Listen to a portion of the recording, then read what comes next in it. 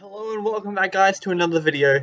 Today, I'm going to be showing you how to use the ruler tool in Tinkercad. Let's get into the video. Alrighty guys, this will be a bit of a short tutorial because there's not much to explain about it, but I'll show you how to use this effectively because it's a really useful tool. If you're someone like me and kind of forgets your measurements or wants everything to be symmetrical, this is the tool for you.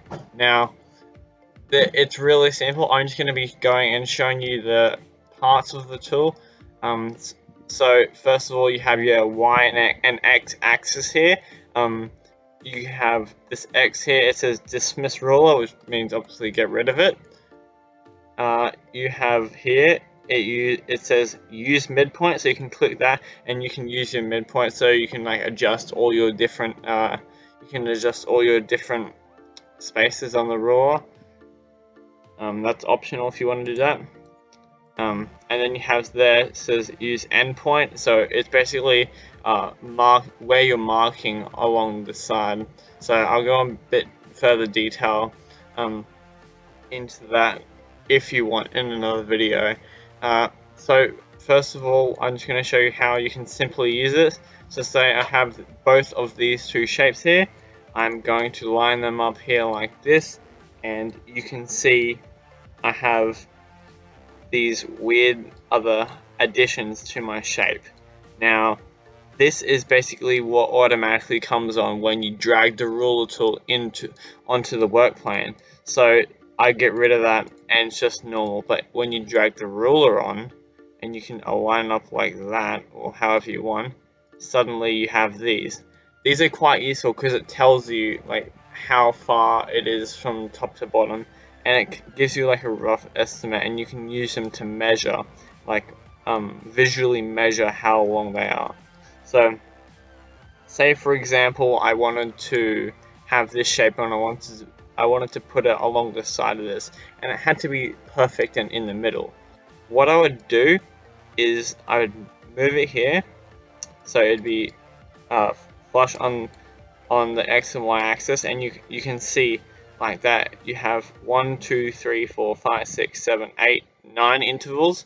And this here um, this shape here is what stands for four intervals. So you can basically line it up on this middle one here. So in there like that. And you can you see you have the same amount of space on either side of the shape. So you can measure that out and make sure um, that it's correct. And you can use this to double check your measurements after you finish your um, your design.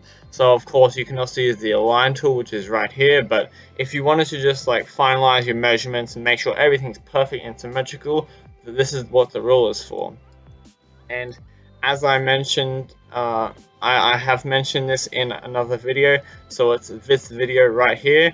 Uh, it like all the tools and stuff like that. The ruler is really handy I can't stop telling you enough on how useful it is if you are doing big projects on Tinkercad. Just please use this ruler, it will save your life and a lot of time. So, without not without um, not much more to say, the ruler is located up here. It's also next to the work plane and your notes. Uh, if you'd like to, I can go into another video. Just suggest it in the comment section down below.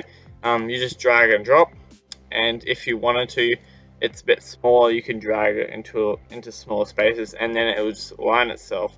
Now there is actually no um align alignment like self alignment you have to like uh, zoom down in and make sure it's all perfect up in your space.